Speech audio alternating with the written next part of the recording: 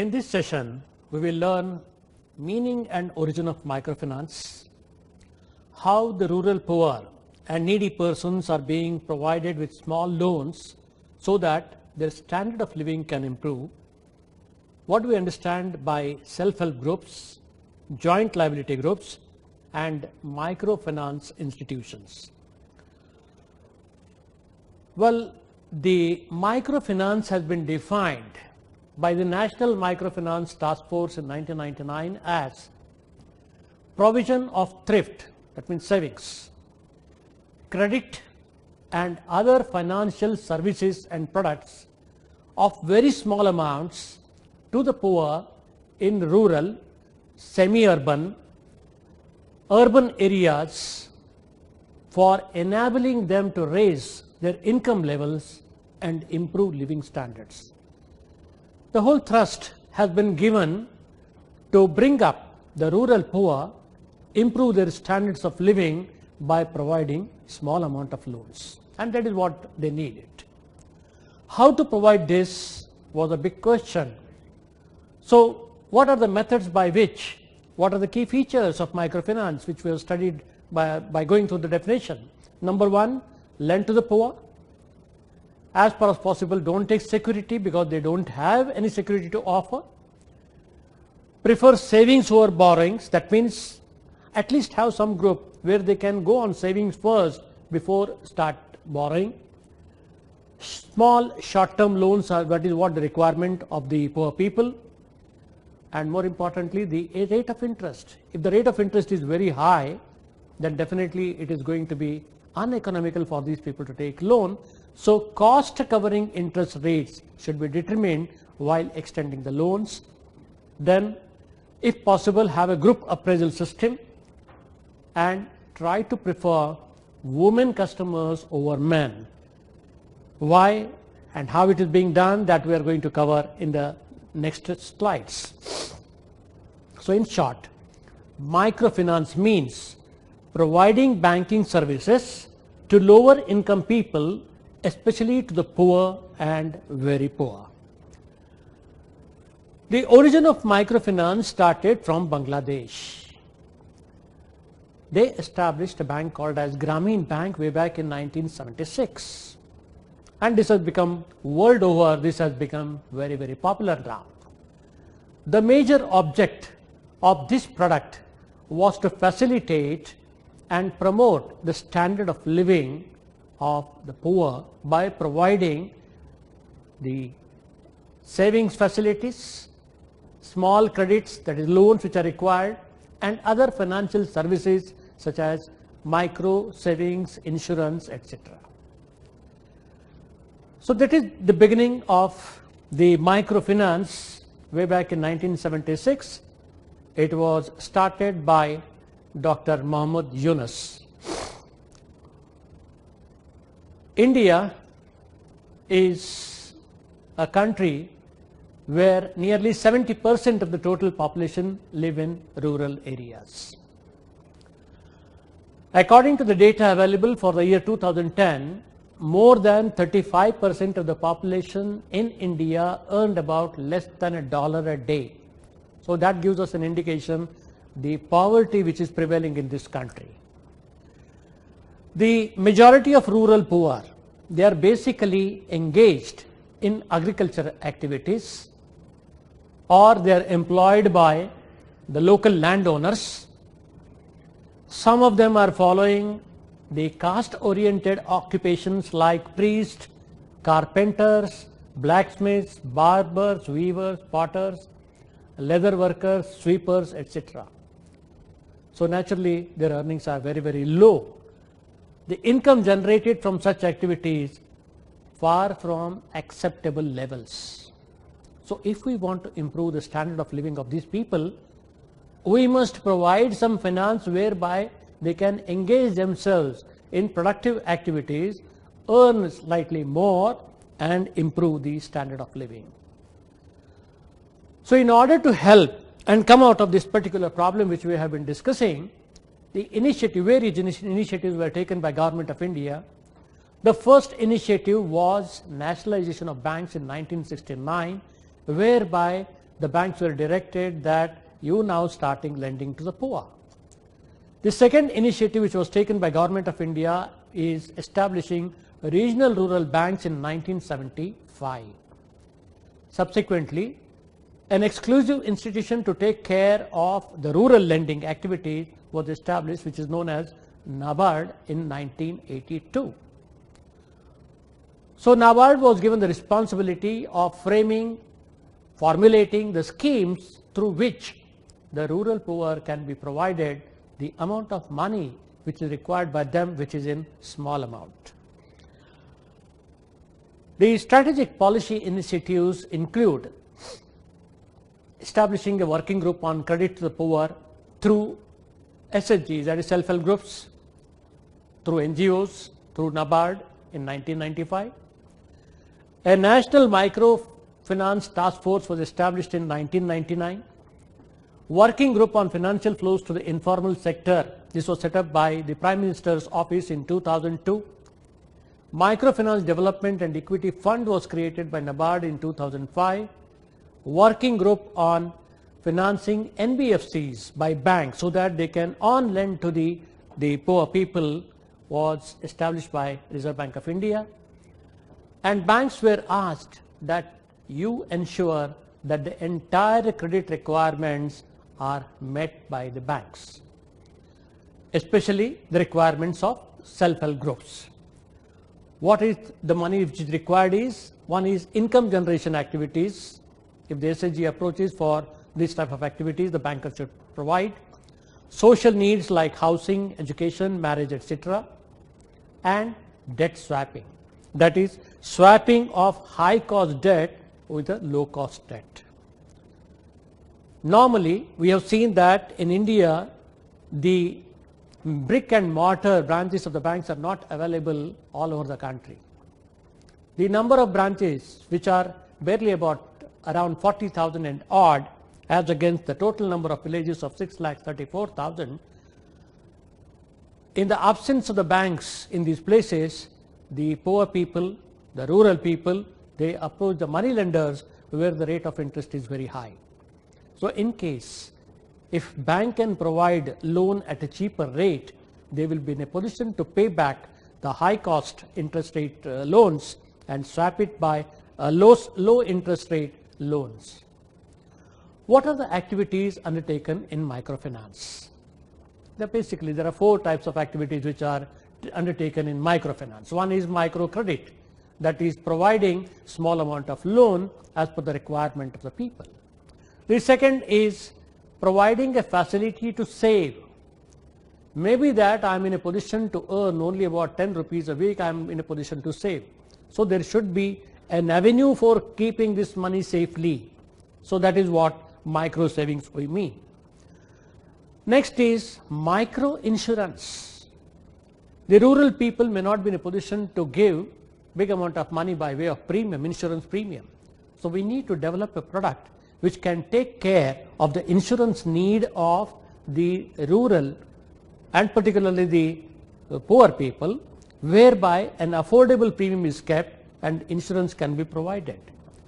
So this in fact if we can make an affordable insurance policy available to these people, it enables people to concentrate more on their developing their business and other activities so that the risk is taken care of.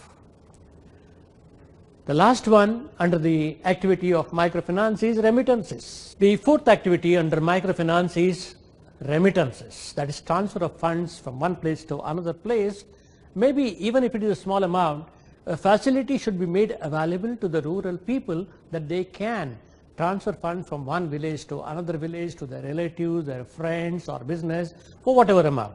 So this facility has to be made available to them also. Why this is required in India is the next question. The World Bank report on global poverty reveals that India has 421 million people earning below $1.25 a day. This of course was in the year 1981. And the number of people who are earning this kind of money has increased to 456 million. So the incidence of poverty and hunger in India is alarming. So this calls that it has to be taken in a serious way so that the poor people, particularly the rural people, are provided the facilities of banking, the facilities to save, the facility to get money at a cheaper rate of interest so that they can take up some activities and improve their standard of living by earning more, creating assets to overcome the problems of poverty. What are the approaches? If at all we want to give loan and improve the standards of living of the people, we should have some definite plan of action. Now what is the definite plan of action which has been done in India is that we should establish such institutions whereby people can come together, save together, take loan and then start activities themselves. As I said, the financial institutions in India are very few as compared with the requirement. So the model which was adopted was SHG model, that is self-help group model. So what is this self-help group? It's a group of 15, 20 people, a homogeneous group, where people come together, they have a plan of action, they say that every member will contribute a fixed sum, maybe on a daily basis or weekly basis or a monthly basis according to the decision taken by the group. So they pool the savings. After pooling this, the next step is to lend amongst the group at such rate as decided by the member. The characteristic of a self-help group is that one family, one member. So it cannot be a family group. So that has to be maintained. It can be a group of only men, it can be a group of only women, or it can be a group of uh, those people who come together for a particular activity. And generally, women groups have been found to be very popular and performing. Another important aspect in respect of the self-help group is members of the same social and financial background. So this is an important aspect so that there will not be any conflict of interest. How the group works? The group works first the members have to contribute. So there will be savings initial and then they will be given interest on the savings which is pooled together. Now to give interest there should be some earning. So the lending activity takes place within the group at such rate of interest as decided by the members. What is this self-help group? How it has been defined? Let us have a look at it. NABARD has defined SHG as small economically homogeneous affinity groups of rural poor. Voluntarily formed this is an important thing that it is voluntarily formed to save and mutually contribute to a common fund to be lent to its members as per the group members decision. So basically it is a voluntary group and the savings and lending activities undertaken by the group is as per the decision taken by the members. A group consists of members varying from 10 to 20 members. Why 20 is a question to be asked. If it is more than 20, then such groups need to be registered compulsorily. So normally an SHG will be maximum 20 members will be there. As women's SHGs or Sangha have been promoted by wide range of government and non-government agencies, now they make up 90% of all SHGs in India. What are the functions of an SHG? Number one, they organize meetings of the group members. Number two, group create group manage funds through the savings. The funds which are mobilized are managed by the group members. They give loan to the members. They keep records provide forum for people to reap the benefits of mutual trust and group empowerment. So in short, if a member wants money at a reasonable rate of interest, he can get small amount of money from the group itself. The rules and regulations of SHG vary according to the preferences of the members. The groups meet regularly, typically once in a week or once per fortnight. The purpose is to collect savings from the members, maintain proper accounts, pass resolutions signed by all members for opening of a savings bank account with a bank. So once this resolution is passed, they can deposit the money which is collected from the members in a bank. They will also meet to decide which member is to be given loan. They will also discuss the joint activities to be taken by the group such as training, running of a community business. When group members start a business activity, definitely it is going to be not by one, but by a group of 10 to 15 people, it is going to be a successful operation. Most SHGs, they have elected persons, a chairman, a deputy, a treasurer, so that the work is divided amongst the people and all these activities like maintenance of records, handling of bank account, all that can be done in an organized way. Most of the SHGs start with initial funding by the members themselves, that is the savings. Savings can be anything.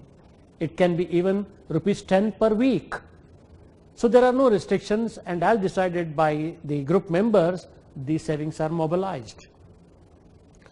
After a consistent saving, say maybe two to three months, then SHGs start giving loans because they are stabilized in two to three months time. Internal rotation of the money takes place and it can be for enterprise activities or consumption needs of the members. And once this is done, once the funds are utilized, the SHGs can approach the banks and other financial intermediaries to get additional fund so that the lending activities which are now at a higher level can be met by taking loans. How self-help groups save?